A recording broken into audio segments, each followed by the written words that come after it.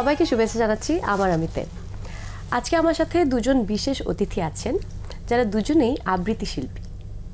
আমার সাথে আছেন বিশিষ্ট আবৃত্তি শিল্পী আহকামুল্লাহ এবং আমাদের সবার প্রিয় শারমিন লাকি। কেমন আছেন ভালো। কেমন আছেন আপনারা? আপনি ভালো আছেন হ্যাঁ খুব ভালো আছি। আজকে আমি একটু এক্সাইটেড কারণ ইউজুয়ালি আবৃত্তি শিল্পীদের সাথে আমার গল্প করাটা হয় না। তো আমি জানি যে আমি শুনেছি যে আপনারা বন্ধু। বন্ধু বললে ভুল একদম পারিবারিক সম্পর্ক। হ্যাঁ, আচ্ছা, মানে আমার ওয়াইফের সাথে ওর হাজবেন্ডের সাথে আমরা একদম পারিবারিকভাবে বন্ধু। কিন্তু আসলে আবৃত্তি শিল্প চর্চার শুরু থেকে সতীর্থ বলে এবং মানে একই বয়সের বলে আমরা বন্ধুত্বটা আমাদের খুব গুরুত্বপূর্ণ হয়ে উঠেছে জীবনে। এবং আমরা ভীষণ ভালো বন্ধু। এই সেই বন্ধুত্বটা কি আবৃত্তি থেকেই নাকি একদম আবৃত্তি থেকে। একদম। সেটা কবে থেকে শুরু? ওই গল্পটাকে একটু আমাদের বয়সটা আরও এখন ভালো মতো ঠিকঠাক করে বলে দাও। বেরিয়ে আসি। আমি ঢাকা বিশ্ববিদ্যালয়ে ভর্তি হই নব্বইয়ের দশক মানে অষ্টআশিতে। যখন ঢাকা বিশ্ববিদ্যালয়ে ভর্তি হই এবং আবৃত্তি, সাংগঠনিক আবৃত্তি চর্চাটা শুরু করি, বাংলাদেশেও সাংগঠনিক আবৃত্তি চর্চাটা ঠিক ওই সময়ই শুরু হয়েছে। বাংলাদেশ আবৃত্তি সমন্বয় পরিষদের প্রতিষ্ঠা হয়েছে ওই অষ্টআশি সালেই।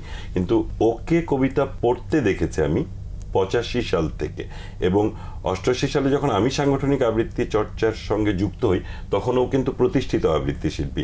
এবং তখন থেকে বন্ধুত্ব, আবৃত্তি আর সংগঠনটাও একটা অনেক বড় ব্যাপার। আচ্ছা আবৃত্তি সমন্বয় পরিষদেরও কিন্তু সাধারণ সম্পাদক হ্যাঁ। হ্যাঁ। এবং জোটেও আছে সম্মিলিত সাংস্কৃতিক জোটের সাথেও ও তো প্রতভাবে জড়িত। হ্যাঁ তো আম, আমাদেরও একটা ছোটখাটো সংগঠন ছিল কবিতার আর ও যখন এইটটি এইটে ঢাকা ইউনিভার্সিটি আমি তখন এইটটি এইটে আমি আমার ম্যাট্রিক পাশ করেছি। মানে আমি কিন্তু তোমার চেয়ে একটু বয়সে ছোট এটা ওইটা- বুড়ি হয়েছি। বেড়ে না। এমনিতেও মেয়েদের- আপুকে মেয়েদের বয়স বলতেও নেই জানতে চাই একদম না আমরা কিন্তু এমনিও লাকি আপুকে আসলে এটা বোঝাটা মানে আমি। জবে থেকে চিনি আমরা কবিতা সেই তখন থেকে একই রকম। মানে কোনো পরিবর্তন নেই এবং বয়স বোঝাটা খুব অনেক ডিফিকাল্ট জন্য। অনেক আচ্ছা, সময় গড়িয়ে গেছে। ওর সঙ্গে বন্ধুত্বটার আরেকটা কারণ হচ্ছে কি?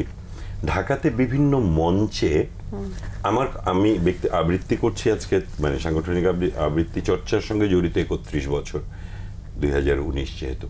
এই একত্রিশ বছরে আমি একজন আবৃত্তি শিল্পীর সঙ্গেই মঞ্চে ডুয়েট করেছি। এবং প্রত্যেকটা রিহার্সাল ছাড়া মঞ্চে গিয়েছি, দাঁড়িয়েছি। গুলশান ইউথ ক্লাবের প্রোগ্রাম ওর হাজব্যান্ড ওটার মেম্বার আমি গিয়েছি, সবাই অনুরোধ করল, আপনারা দুজন একটু কবিতা আমরা দুজন জাস্ট বই হাতে নিয়ে কবিতাটা পড়ে দিলাম। এরকম ভাবে কয়েকবার ডুয়েট হয়েছে। আজকেও যেমন আমার আমিতে কোনো না কোনো ভাবে আমি আর লাকিয়ে আসলাম। এভাবে করে একটি আবৃত্তির স্বল্প মেয়াদি করে জুটিও তৈরি হয়েছে। তো মঞ্চে অনেকবার করা হয়েছে ডুয়েট।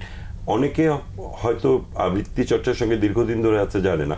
রবীন্দ্রনাথ কিন্তু আমার বাবার ধ্যান জ্ঞান ছিল এবং আমারও ধ্যান জ্ঞান আমি রবীন্দ্রনাথ এত কবিতা আমার মুখস্থ আছে যে অনেক আবৃত্তি শিল্পী নিয়মিতভাবে রবীন্দ্র আবৃত্তি চর্চার আবৃত্তি শিল্পী হিসেবে পরিচিত। তারা আমার চেয়ে অনেক কম কবিতা পড়েছে জীবনে মধ্যে কিন্তু আমি রবীন্দ্রনাথও অনেক পড়েছি। সুতরাং সেই হিসেবে প্রেমের কবিতা পড়েছি।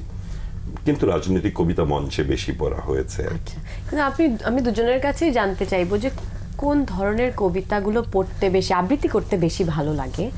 আর আর কোনগুলো নিজে নিজে পড়তে বেশি ভালো লাগে? শিল্পীর তো মূল দায়িত্বটা হচ্ছে দর্শকের সঙ্গে যোগাযোগ স্থাপন করা। তাহলে দর্শকটা কেমন সেটা বুঝে নিয়ে আমাকে যোগাযোগটা স্থাপন করতে হয়। আমার জীবনে আমি রাজনৈতিক অডিয়েন্স বেশি পেয়েছি। আবার ড্রয়িং রুমে বন্ধুদের সাথে আড্ডা দিতে দিতে একরকম কবিতা পড়েছি। কিন্তু নিজের জন্য যখন কবিতা পড়তে যাই তখন বিষ্ণুদেব পড়ি বুদ্ধদেব বসু পড়ি শক্তি চট্টোপাধ্যায় পড়ি শঙ্খ ঘোষের কবিতাও পড়ি। মানে এমনকি তরুণ কবিদের অনেক কবিতা যা মঞ্চে হয়তো কখনোই পড়া হবে না। কিন্তু নিজের জন্য ওই কবিতাটা মাঝে মাঝে পড়ি। তবে সবচেয়ে বেশি পড়া হয় রবীন্দ্রনাথ নিজের জন্য। আচ্ছা আর লাকি আপু? আমার নিজের জন্য একদম জীবনানন্দ। জীবনানন্দ।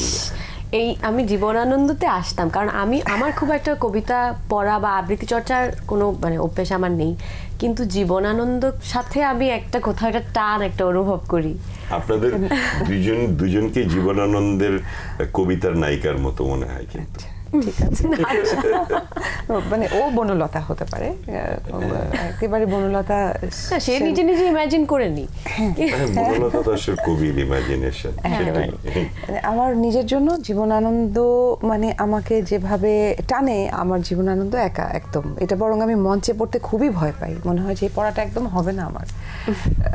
ভীষণ। হ্যাঁ জীবনানন্দ যে নিজের জন্য পড়ি না তা নয় কিন্তু রবীন্দ্রনাথ আমি যতটা নিজের জন্য সবারই দেখি যে খুব ততটা। মানে হয়তো রবীন্দ্রনাথ পড়তে পড়তে ঘুমিয়ে গেছি এরকম অনেক দিনই হয়েছে তো আমরা আশা করি আজকে একটা রবীন্দ্রনাথ অথবা জীবনানন্দ কিছু একটা শুনতে পাবো কিন্তু তার আগে আমাকে একটা ছোট্ট বিরতি নিতে হবে কারণ আমরা গল্প করতে করতে একটা বিরতির সময় চলে এসেছি। প্রিয় দর্শক আমরা এতক্ষণ গল্প করছি দুজন আবৃত্তি শিল্পীর সাথে এবং আমরা তাদের কাছ থেকে কবিতা শুনব কিন্তু তার আগে নিচ্ছি একটা ছোট্ট বিরতি। কে হায় হৃদয় খুঁড়ে বেদনা জাগাতে ভালোবাসে? হায় চিল সোনালি ডানার চিল। ফিরে এলাম বিরতির পর।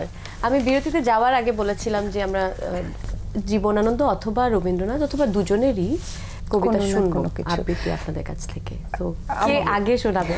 আমার যেহেতু রবীন্দ্রনাথ আমি নিজের জন্য পড়ি।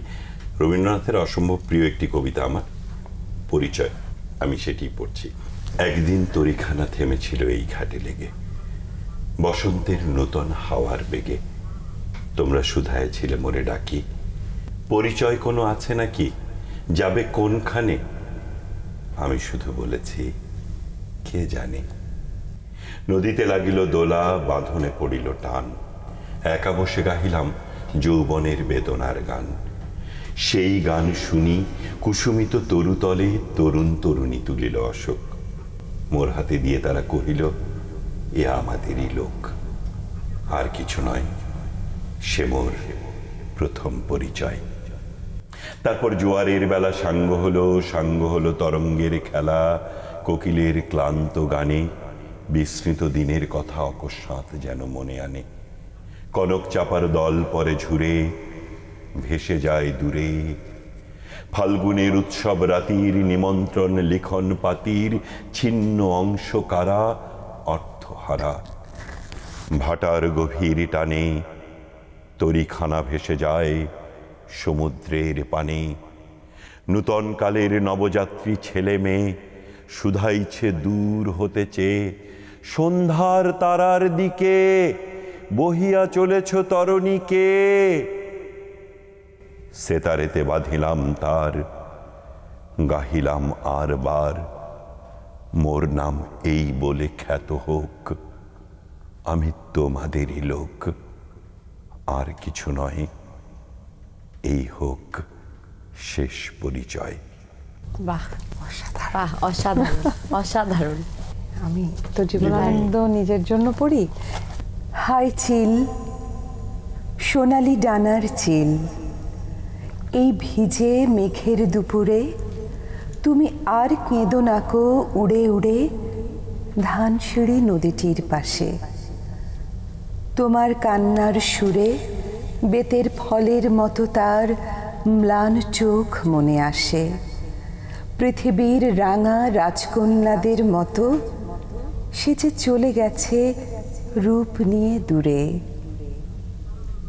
আবার তাহারে কেন ডেকে আনো? কে হায় হৃদয় খুঁড়ে বেদনা জাগাতে ভালোবাসে? হায় চিল, সোনালি ডানার চিল, এই ভিজে মেঘের দুপুরে। তুমি আর উড়ে উড়ে কেঁদো নাকো ধানসিঁড়ি নদীটির পাশে। আমার খুব খুব ভালো লাগল খুব ভালো লাগল।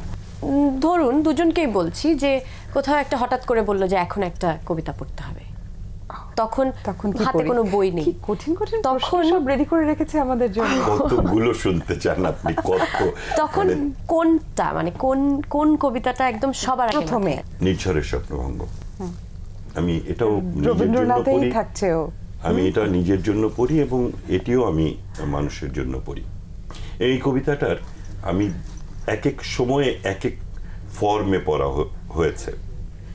যেমন আমি নদীর ধারে যখন দাঁড়িয়ে আছি তখন আজিয়ে প্রভাতের অবির কর কেমনে পশিল প্রাণের পর কেমনে পশিল গুহার আধারে প্রভাত পাখির গান? কিন্তু এখন যখন আবার আপনার সামনে বসে লাকিকে পাশে নিয়ে বসে পড়ছি তখন একটু ভিন্নই হবে পড়াটা। মানে বৈঠকি হবে। আজিয়ে প্রভাতের অবির কর কেমনে পশিল প্রাণের পর? কেমনে পশিল গুহার আধারে প্রভাত পাখির গান? না জানি কেন রে এতদিন পরে জাগিয়া উঠিল প্রাণ। জাগিয়া উঠেছে প্রাণ, ওরে উথলি উঠেছে বাড়ি, ওরে প্রাণের বাসনা, প্রাণীর আবেগ রুথিয়া রাখিতে নারী। থর থর করি কাঁপিছে ভূধর, শিলা রাশি রাশি পড়িছে খসে, ফুলিয়া ফুলিয়া ফেনিল সলিল, গরজে উঠেছে দারুণ রোষে। হেথায় হোথায় পাগলের প্রায়, ঘুরিয়া ঘুরিয়া মাতিয়া বেড়ায়, বাহিরিতে চায়, দেখিতে না পায়, কোথায় কারার দ্বার? কেন রে বিধাতা পাষাণ হেন, চারিদিকে তার বাঁধন কেন? ভাঙরে হৃদয়, ভাঙরে বাঁধন, সাধরে আজকে প্রাণীর সাধন, লহরীর পরে লহরী তুলিয়া, আঘাতের পরে আঘাত কর। মাতিয়া যখন উঠেছে পরাণ, কিসের আধার, কিসের পাষাণ, উথলি যখন উঠেছে বাসনা, জগতে তখন কিসের ডর? আমি ঢালিব করুণা ধারা আমি ভাঙিব পাষাণ কারা, আমি জগৎ প্লাবিয়া বেড়াবো গাহিয়া, আকুল পাগল পারা। কেশ এলাইয়া, ফুল কুড়াইয়া, রামধনু আঁকা পাখা উড়াইয়া, রবির কিরণে হাসি ছড়াইয়া, দিবরে পরাণ ঢালি। শিখর হইতে শিখরে ছুটিব, ভূধর হইতে ভূধরে লুটিব। হেসে খল খল, গে কল কল, তালে তালে দিব তালি। এত কথা আছে, এত গান আছে, এত প্রাণ আছে মোর, এত সুখ আছে, এত স্বাদ আছে, প্রাণ হয়ে আছে ভোর। কি জানি কি হলো আজি? জাগিয়া উঠিল প্রাণ। দূর হতে শুনি যেন মহাসাগরের গান। ওরে, চারিদিকে মোর এ কি কারাগার ঘোর। ভাং ভাং ভাং কারা, আঘাতে আঘাত কর। ওরে আজকে গান গেয়েছে পাখি? এসেছে রবির কর। মনে হলো একদম আমার মনের কথাগুলো বলল। আসলে সত্যি। আচ্ছা আমরা এখন লাকি আপুরটা শুনব কিন্তু তার আগে একটা ছোট্ট বিরতি নিতে হবে আবার।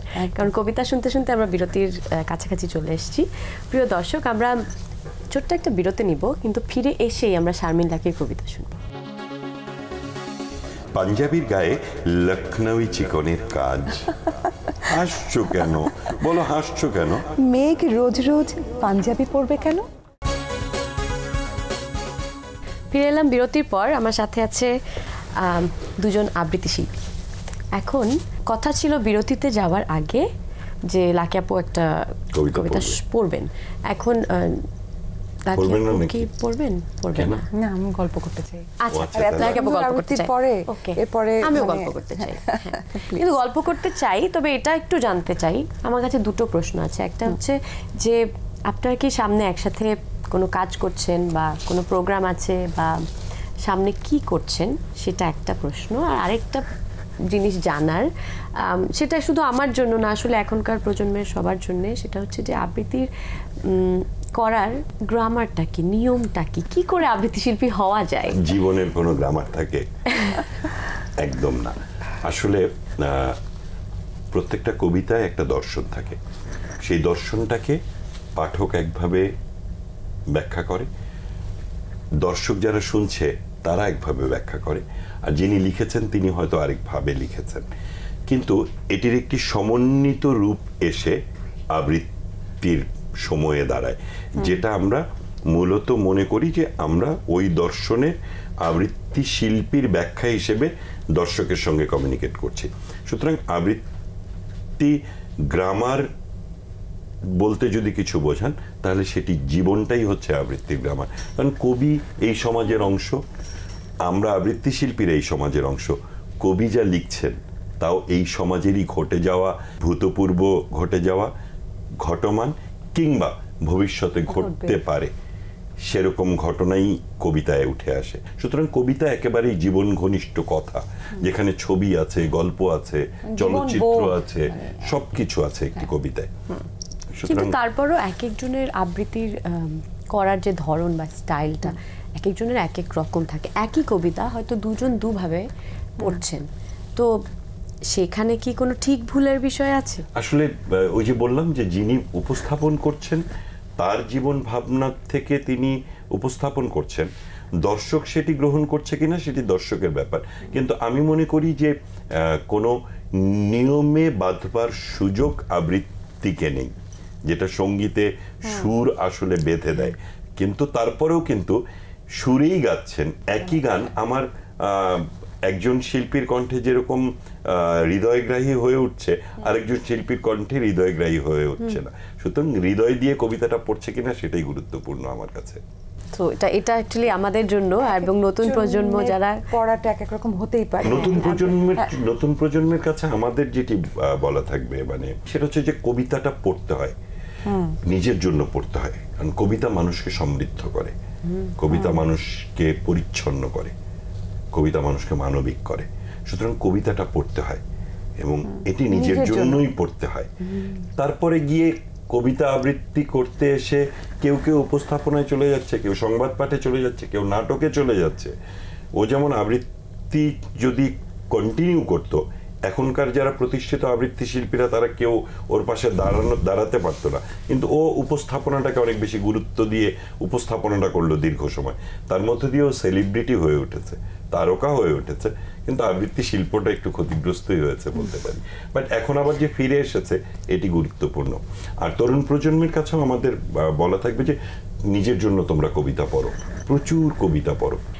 অবশ্যই। আমরা কিন্তু অনুষ্ঠানে একদম শেষ পর্যায়ে চলে হ্যাঁ, এসেছি। এবং সেই যে শুরু থেকে একটা কথা দেয়া ছিল যে দুজনে একটা ডুয়েট আবৃত্তি হবে এবং সেটা শুনতে শুনতে আমরা বিদায় নেব।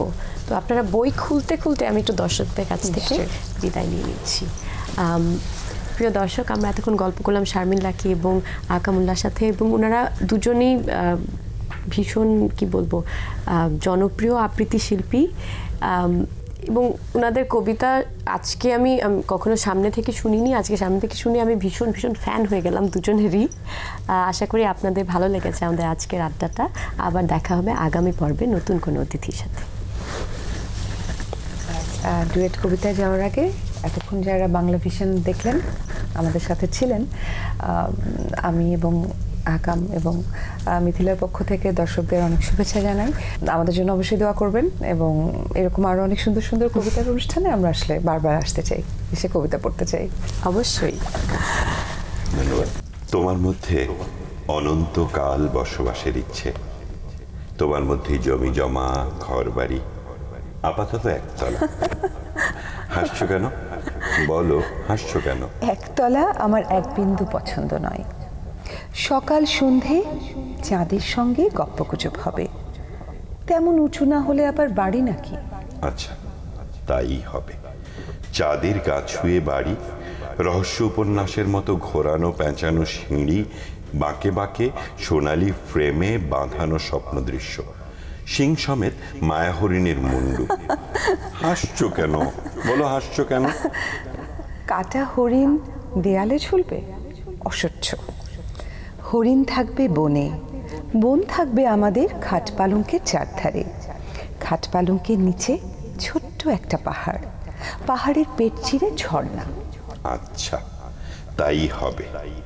পাহাড় চিরে ঝর্ণা, ঝর্ণার উপরে কাশ্মীরি কার্পেট সিলিংয়ে রাজস্থানী ঝাড় জলের ঝাঁঝরির মতো উপুর করা জানলার গায়ে মেঘ। মেঘের গায়ে ফুরফুরে আদ্দির পাঞ্জাবি। পাঞ্জাবির গায়ে লখনৌই চিকনের কাজ। হাসছো কেন? বলো হাসছো কেন? মেঘ রোজ রোজ পাঞ্জাবি পরবে কেন? এক একদিন পরবে বালুচরি শাড়ি কিংবা খাটাওয়ের পাতলা প্রিন্ট। মাথায় বাগান খোপা খোপায় হীরের প্রজাপতি। আচ্ছা তাই হবে। মেঘ সাজবে জরিসার বাড়িতে শাড়িতে আর তখনই নাহবাদ খানার সানাইয়ের জয় জয়ন্তী আর তখনই অরণ্যের রন্ধ্রে রন্ধ্রে বুনো জানোয়ারের হাঁক ডাক। খাদে ঝাঁপিয়ে পড়ার জন্য জেগে উঠবে জলপ্রপাত। শিকারের জন্য তীর ধনুক, দামামা দুন্দুভি। হাসছো কেন? বলো, হাসছো কেন? তুমি এমন ভাবে বলছো যেন ভালোবাসা মানে সাপে আর নেউলে ভয়াবহ একটা যুদ্ধ। ভয় লাগছে। অন্য গল্প বলো। আরেকদিন বলব।